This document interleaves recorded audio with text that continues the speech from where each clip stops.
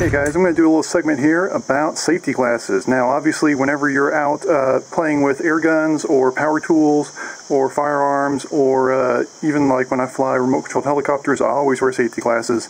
Uh, these are from the home improvement store. I don't know if you can read that, but they are certified as uh, uh, Z87 safety glasses. So these do carry the proper certification to be actual safety glasses um, but they're tinted. Uh, this is what I wear when I'm outdoors. Now these have gotten scratched and I'm going to retire them. So I figured it'd be interesting to do some tests. I've got some, uh, I've got an air gun here. This is a CO2 pistol, BB pistol, and it chronoed at about 360 to 400 feet per second depending on how much gas is in the CO2 and what kind of pellet I use. So 360 to 400 feet per second. I've got a 22 an actual firearm here and uh, I'm pretty sure this is going to fail. The safety glasses will not protect against a direct 22 hit.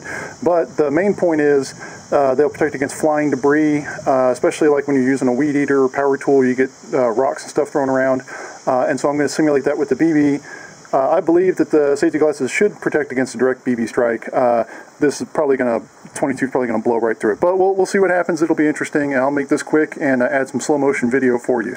Okay, here's the test setup. I've got a piece of cardboard here, and I've uh, put the sticks on there to where the, the top of the cardboard is supported, so there is rigid support behind here. Got the safety glasses tucked in with the cardboard, uh, and I've got the range myself for safety. So I'm going to take a couple shots at these and show you the video. This is going to be a steel BB.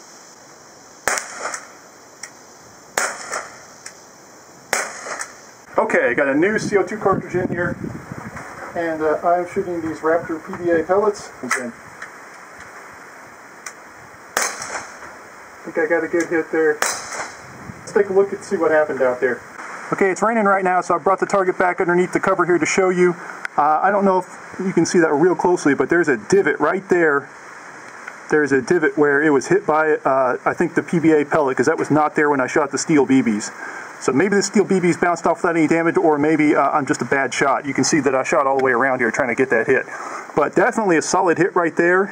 Uh, you can see the reflection uh, as, as, the little divot there. Um, but on the back side, you can feel a little bit of uh, a little bit of a bump, but it's definitely not through. It would have protected you against that direct strike. But whether or not, the, even with you wearing safety glasses, these other hits around the top of your head and uh, down in the chin here, that would uh, punch through your cheek probably.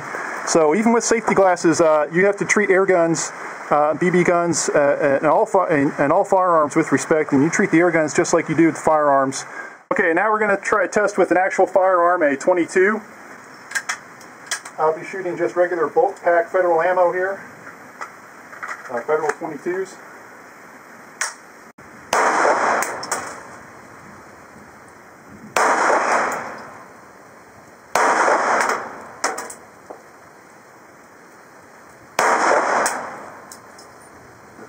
Can't tell if I hit it or not.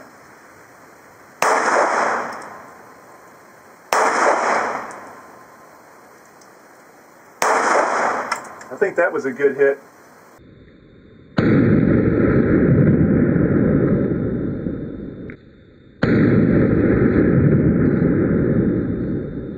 Here's what we got from the 22. You can definitely tell it punched several holes to it and knocked a big chunk out of the side here.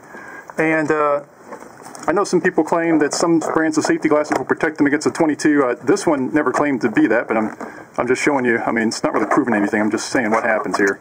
So it actually went through. This cardboard was clean before I started shooting, so definitely protects against BB. Um,